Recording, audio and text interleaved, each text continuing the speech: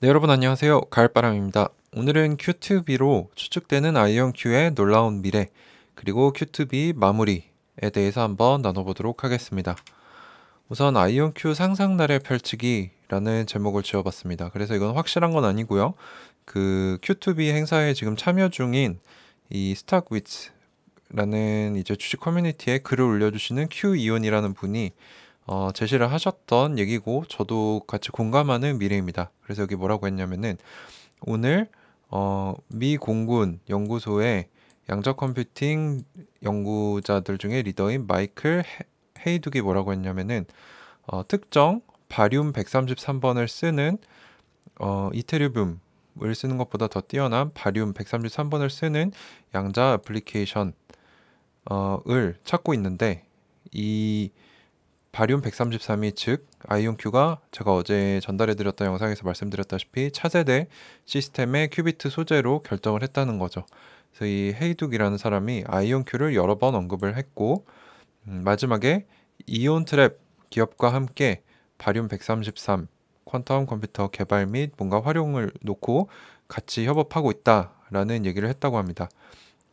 그래서 아마 이것에 대한 발표가 공식적인 발표가 미래에 나올 것 같다라고 했고 어, 만약에 이 양자 기술을 어, 배치할 수 있는 야전에 배치할 수 있는 상온 어, 양자 컴퓨터가 필요하다라고 하면은 아이온큐 말고 누가 있을까라는 그래서 또 이렇게 공군과 뭔가 아이온큐 간의 협업이 있는 것 같다라는 소식을 또 전해주셨고요. 또 여기 보시면은 차세대 아이온큐의 양자 컴퓨터는 바륨을 사용한다. 그래서 큐비트 소재를 이테리움에서 바륨으로 바꿨다. 그래서 이 AFRL이 아까 말씀드린 미 공군 연구소입니다. 미 공군 연구소가 아이온큐와 함께 바륨 133 양자 컴퓨터를 놓고 같이 어, 협업하는 걸로 보인다입니다. 이거 공식적인 발표가 나온 게 아니고요.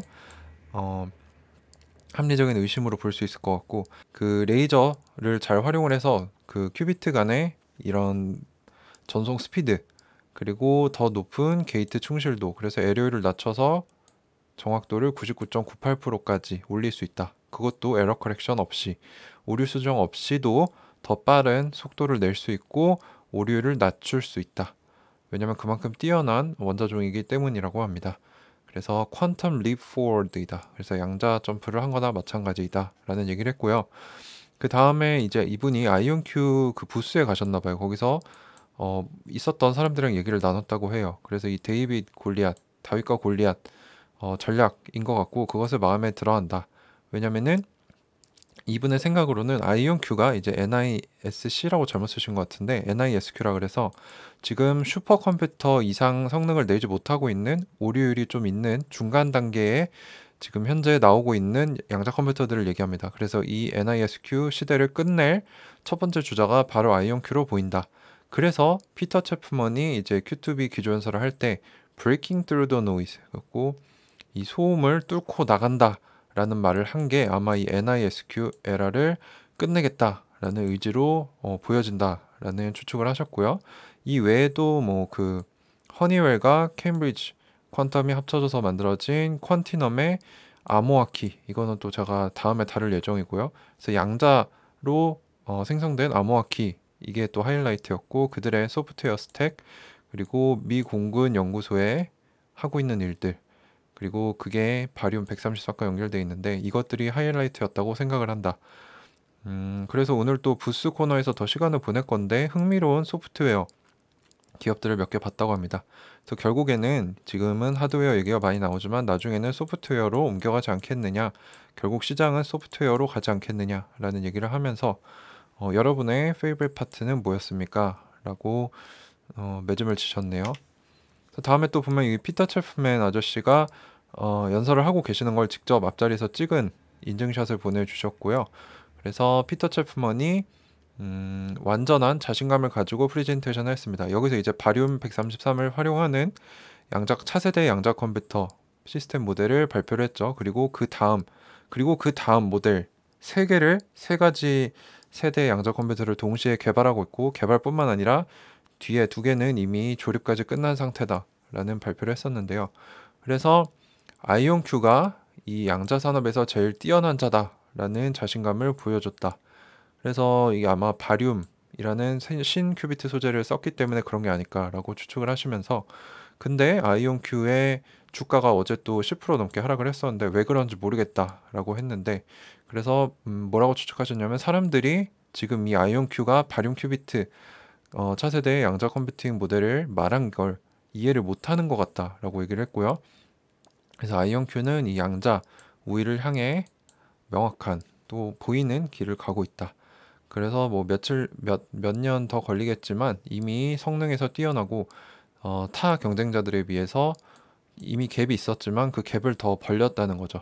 그래서 이제 모든 경쟁자들은 어떻게 이 아이온 큐와 어, 경쟁할 수 있을지 따라잡을 수 있을지 고민해야 될 것 같다라는 얘기를 했습니다.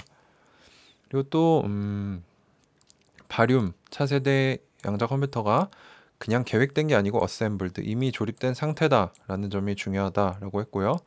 어, 채프먼 사장님이 이미 차세대 3개, 미래의 3세대, 3개, 3세대가 아니고 3개의 모델을 동시에 어, 개발하고 조립하고 있다라고 얘기를 했기 때문에 조만간 이 mind blowing 어, 엄청난 결과들이 나올 것 같다라고 얘기를 했고요. 그래서 대리 아마 아이온큐와 협업하기로 결정하지 않았을까라는 의문 어, 의문이라기보다는 어, 흥미로운 질문을 또 던져주셨습니다.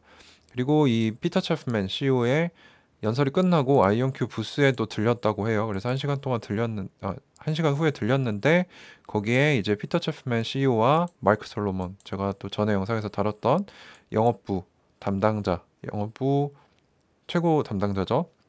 두 분이 계셔서 어 그 피터 체프맨의 역사적인 연설에 대해 축하해 주었다고 합니다. 그래서 이날이 아마 어, 곧 양자 우위를 그 다른 가장 빠른 슈퍼컴퓨터들보다 더 빨리 달성할 것을 얘기한 첫 스피치가 될 거다라고 했는데요. 이날이 아마 어제 주가가 10% 이상 떨어졌던 날인 것 같습니다. 그래서 주가가 움직이지 않는 것 같다라고 했고 그 세 분이서 동의를 한 것이 아직 시장이 이 영향, 이 중요성에 대해 이해를 못하는 것 같다라고 얘기를 하고 있습니다.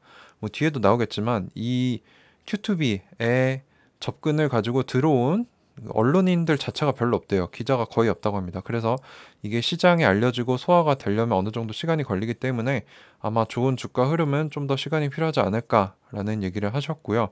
그래서 이 피터 체프만과 마크 솔로몬과 셋이서 사진을 찍었다고 하는데 이거는 공개를 하지 못하지만 이 뒤에 보시면 흥미로운 사진 하나를 공개를 해주십니다. 그래서 피터 체프만이 이 Q 이온이라는 사람이 아이온 큐가 처음으로 개발한 양자칩을 들고 있는 모습을 찍어줬다고 합니다. 그래서 이 사이즈에 비해 생각했던 무게보다 더 무거웠고 뭐 크기는 별로 안 컸는데 더 넓었다. 뭐 이게 정확히 똑바로 위에서 보여준 게 아니라서 크기는 알 수가 없지만 일부러 그렇게 찍었다고 합니다. 이 안에 뭔가 영업 비밀이 있기 때문에 이렇게 좀 애매하게 이 안에 아마 EGT랑 이런 게 들어가 있겠죠. 그래서 뭐 이게 그냥 자기가 뻥치는 사람이 아니고 실제로 이곳에 갔다 왔다는 걸 인증을 해줘서 앞에서 말씀드렸던 사항들에 대한 신뢰도가 좀 올라가는 것 같습니다. 그래서 제가 이분이 또 추천해주신 뉴스를 한번 봤어요. 뉴스라기보다는 네, 리서치 페이퍼죠. 왜 아이온큐가 이테르븀에서 바륨으로 바꿨을까? 이 질문에 대해서 많은 분들이 유튜브에도 왜, 왜 그랬습니까? 라고 물어보셨는데 바륨은 자연적으로 발생하는 그 어떤 원자들보다 뛰어난 몇 가지 독특하고 바람직한 특성을 가지고 있어 거의 이상적인 큐비트 소재로 이제 학계에서 통한다고 합니다.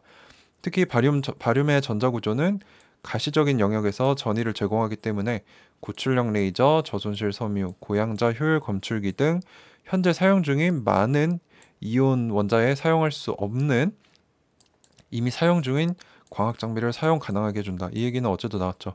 그래서 기존 기술과 결합이 더 용이하다는 거예요. 이미 쓰고 있는 광자학, 뭐 광학 장비 이런 것들을 더 갖다가 쉽게 쓸 수 있기 때문에 통합성이 좋다. 뭐 이런 얘기를 했었죠. 그래서 바륨 133번 원자의 핵구조는 초기화 및 감지가 쉬우면서 왕복과 저장 중에 큐비트의 coherence, 일관성 을 보호하는 강력한 무슨 상태를 제공을 한대요. 여튼 큐비트를 생성하기에 유리하다, 더 뛰어나다.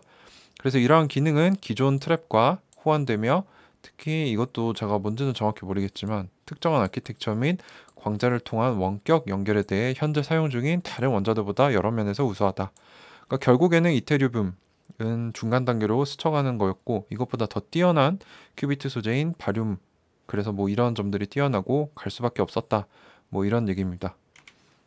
그리고 마지막 날에 application scientist 리더죠. 그래서 양자 기술을 어디에 응용 분야에 적용할 수 있을까를 연구하는 팀의 리더인 소니카 조리 박사님이 어 이제 이거는 저번에 엔비디아 거기에서도 발표했던 내용이랑 비슷해요. 그래서 양자 machine learning의 어, 엄청난 이점이라는 제목으로 발표를 하셨습니다.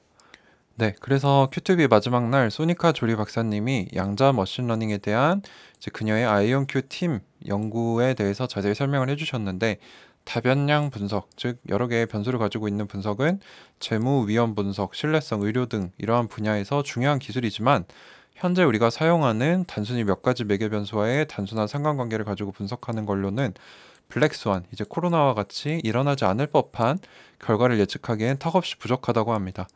그래서 이제 Gen이라는 게 있는데 Generative Machine Learning이라고 해서 제가 이거 데이터 찾기가 좀 어려운데 찾아보니까 주어진 학습 데이터를 학습을 해서 학습 데이터의 분포를 따르는 유사한 데이터를 생성하는 모델이라고 해요.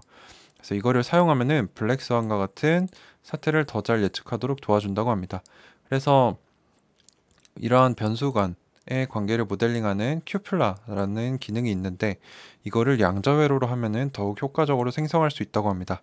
그래서 양자적인 방법과 전통 방법에 대해 어, 직접적이고 자세한 비교를 했는데 양자를 접목했을 때 machine learning이 전통 우리가 지금 쓰고 있는 machine learning의 성능보다 여러 가지 중대한 방향에서 더 능가했다고 합니다. 그래서 성공률도 더 높고 더 효과적인 learning을 하고 tail에 속하는 즉 black swan과 같이 일어나지 않을 법한 분포도를 가진 이러한 이벤트를 더 나은 표현 즉 더 잘 예측할 수 있다라는 말입니다. 그래서 제가 여러 번 말씀드렸는데 machine learning 분야에서 이제 양자적인 이점을 쉽게 볼 수 있기 때문에 아마 이 machine learning에서 이 양자 컴퓨터들이 쓰이지 않을까 제일 먼저 쓰이지 않을까라는 얘기가 많이 나왔고요. 그래서 마지막으로 미래는 밝습니다. 이 기술을 사용해서 상업적 이점을 가지려면 아이온큐의 하드웨어 성능을 더 향상시켜야 하겠지만 이 분야야말로 머신러닝이야말로 가장 빠르게 양자 이점을 찾을 수 있는 곳이라고 믿습니다. 라고 하면서 이제 Q2B에서의 마지막 아이온큐 발표를 마쳤습니다. 네, 그래서 오늘 Q2B로 추측되는 아이온큐의 놀라운 미래 그래서 그 스타그위츠의 Q 이온이라는 분의 이제 생중계로 또 좋은 정보를 얻을 수 있었고요. 이제 소니카 조리 박사님의 이제 machine learning 분야에서 양자적인 이점을 우리가 곧 볼 수 있을 것이다. 라는 이런 마무리 연설까지 발표까지 봤습니다. 네, 오늘도 다시 한번 말씀드리지만 이거는 제 공부에서 정보 공유 차원에서 드리는 영상이고요. 모든 매수 매도에 대한 책임은 투자자분 스스로 하시고 책임지셔야 함을 네, 공지를 드립니다. 네, 오늘도 끝까지 긴 영상 봐주셔서 감사합니다. 가을바람이었습니다.